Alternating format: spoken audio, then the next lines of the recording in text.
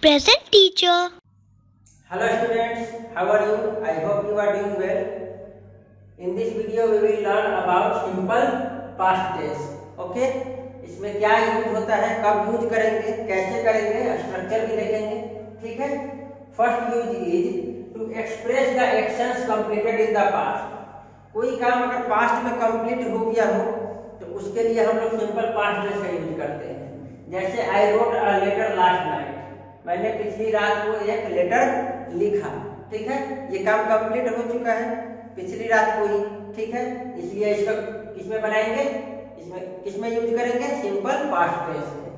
कोई past habit है अगर तो उसको भी हम लोग किसमें बताते हैं? सिंपल पास्ट टेंस जैसे my grandfather went to the temple regularly मेरे ग्रैंड फादर जो है, वो हमेशा रेगुलरली टेंपल जाते थे। ये काम पास्ट में ही होता था, ठीक है? बार बार होता था, लेकिन कब? पास्ट में, ठीक है? चलिए next is to express an action that occurred over a period of time in the past कोई काम किसी खास टाइम में, बीते हुए समय में हुआ, ठीक है? तो उसके लिए भी हम लोग सिंपल पास्ट का यूज़ करते हैं। जैसे I live in Bangalore till I was three जब मैं तीन साल का था, तब मैं बेंगलोर में रहता था। अब ये क्या है? बीते हुए समय में कोई खास टाइम में काम हुआ था, ठीक है?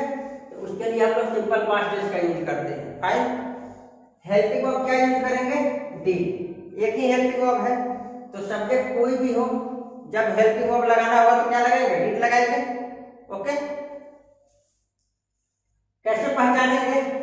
पहचानने के लिए क्या है? सेंटेंस के लास्ट में अगर मिल जाए, हिंदी सेंटेंस के लास्ट में ता था, ती थी, ते थे, या, ये ये, आ, ई, ए एक्सेट्रा अगर ये सब मिल जाए तो उसको हम लोग इसमें समझेंगे सिंपल पास्ट टेंस में ओके स्ट्रक्चर क्या होता है? अफर्मेटिव का स्ट्रक्चर है सब्जेक्ट देन वर्ब का कौन सा form second form then object negative के लिए क्या करेंगे? अब हेल्पिंग वर्ब आ जाएगा। Subject then helping verb did then not then verb का फ़र्स्ट फॉर्म देन ऑब्जेक्ट ठीक है? इंट्रोगेटिव के लिए क्या करेंगे? हेल्पिंग वर्ब को सब्जेक्ट से पहले लाएँगे। तो did then subject then verb का first form then object then question mark W H question होगा तो क्या करेंगे? डब्ल्यू एच वर्ड लगाएँगे। उसके बाद इंट्रोगेटिव वाला सारा स्ट्रक्चर फॉलो होगा, जैसे डिड हेल्पिंग वर्ब हो गया देन सब्जेक्ट देन वर्ब का first form then object then question mark okay चलिए एग्जांपल्स देख लेते हैं, कैसे बनाएँगे ये देखते हैं। क्वेश्चन इज़ राम ने मुझे एक पुस्तक दी। ये कौन सा सेंटेंस है पहचानिए? सिंपल इंफॉर्मेशन दे रहा है अफर्मेटिव सेंटेंस है। सब्जेक्ट क्या है? यहाँ पे, राम। ठीक है? अफर्मेटिव में क्या लिखेंगे? पहले सब्जेक्ट सब्जेक्ट यहाँ राम है तो हम लोग लिख देंगे राम।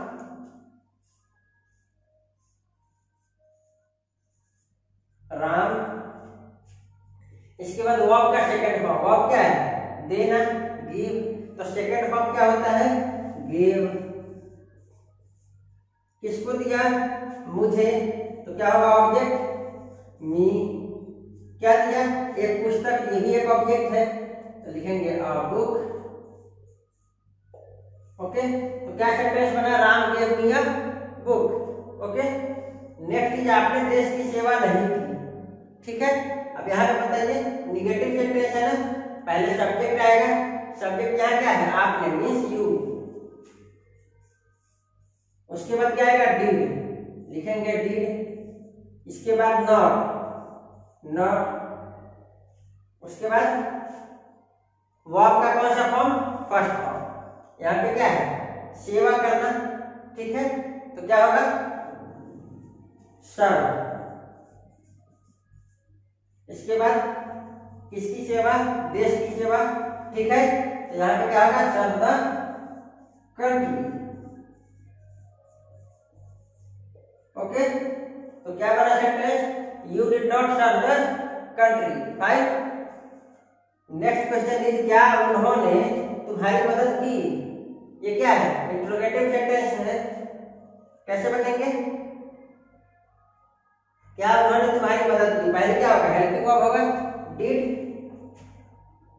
लोग लिख देंगे डिड देन सब्जेक्ट सब्जेक्ट क्या है? उन्होंने, यानी दे डिड दे इसके बाद सब्जेक्ट के बाद वर्ब का फ़र्स्ट फॉर्म क्या है? मदद करना हेल्प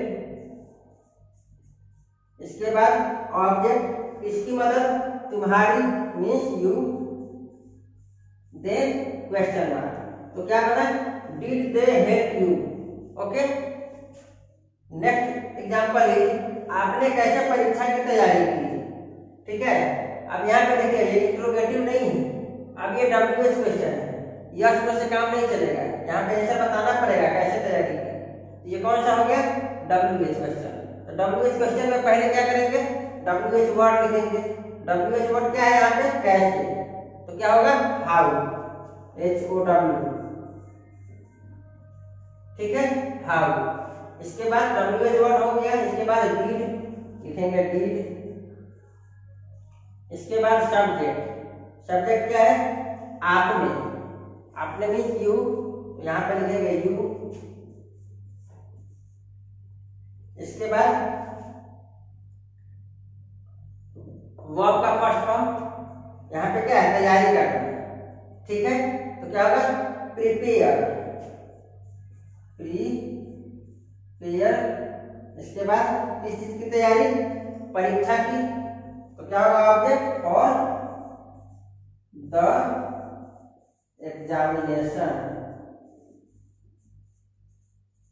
then question mark तो क्या सेंटेंस बना how will you prepare for the examination okay चलिए देखते हैं। क्या मोहन पढ़ना चाहता था? अब देखिए लास्ट में क्या है? ता था। ठीक है? ता था थी थी होगा तो क्या होगा? सिंपल पास्ट टेंस होगा। हाउ विल यू ट्रांसलेट सबसे पहले क्या लिखेंगे? इंट्रोगेटिव सेंटेंस है लेंगे यस नो में दे सकते हैं आंसर तो ये इंट्रोगेटिव है। क्या करेंगे? पहले हेल्पिंग वर्ब डीड लिखेंगे डीड